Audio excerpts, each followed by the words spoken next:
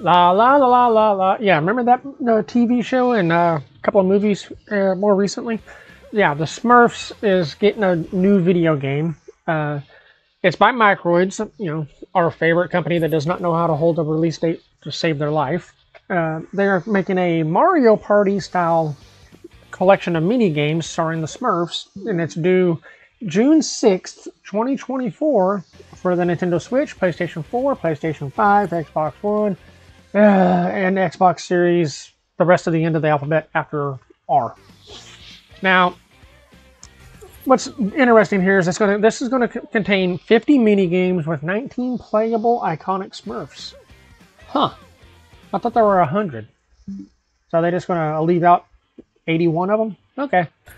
Sounds fair. This is Microids. Uh, there's also six types of games that are going to be included. Sport, quickness, luck, memory, battle, and accuracy. Nice little variety. It's also two to four mo local multiplayer. It's going to have, according to their press release, going to have an original story in Smurf Village. Um, much better than Gargamel's, you know, Castle, I assume.